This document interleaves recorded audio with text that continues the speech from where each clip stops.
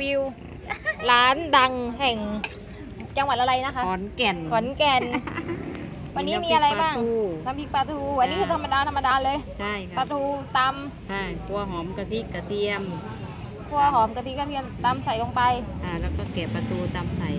แล้วก็อ๋อก็คือไอ้ต้องคั่วหอม ใช่ค่ะพวกพกระเทียมพวกนั้นก่อนพริค่ะกก่อน แล้วก็ตำแล้วถึงจะใส่ปลาทู ย่างปลาทูแล้วกินกับอันนี้ ใช่กระเดามีกระปลาเดาต้มผัก เบอร์หวักจ้าดอกเห็ดรวมส่วนอันนี้คืออันนี้แกงเห็ดรวม เห็ดเข็มทอง เห็ดฟาง เห็ดขอน แล้วก็เห็ดออรินจิ ออรินจิด้วยใช่ค่ะอืมไฮโซจ้าไฮโซอะไฮโซไหมล่ะสี่ไฮโซบวบ มากใส่บวบแล้วก็ใส่แมงลักค่ะ ใส่บวบแล้วก็แมงลักด้วย ไฮโซไปไหน มีอย่างอื่นอีก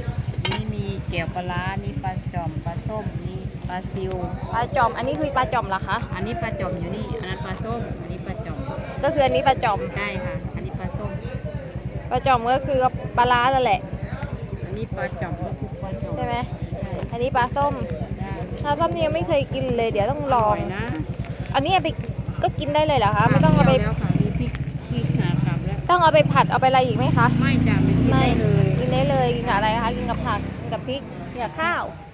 จ้ะแล้วก็ หมูยอปลาซิวปลานิลปลาดุกปลาจิโกะปลาช่อนทะเลน่ะภาษาไทยเรียกปลาช่อนทะเลปลาภาษาอีสานเรียกปลาจิโกะไหนคะ นี่จ้ะปลาอะไรนะคะ ปลาชิโกะปลาช่อนทะเล